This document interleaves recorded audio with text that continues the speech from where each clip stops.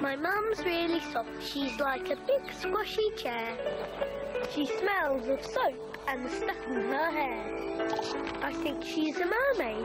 She spent ages in the bar. She's got tickly fingers. They make me giggle and laugh. She stops things from hurting because she's my mum. When she eats biscuits, they stick to her hips and her bum. Robinson's fruit and barley feed their imagination.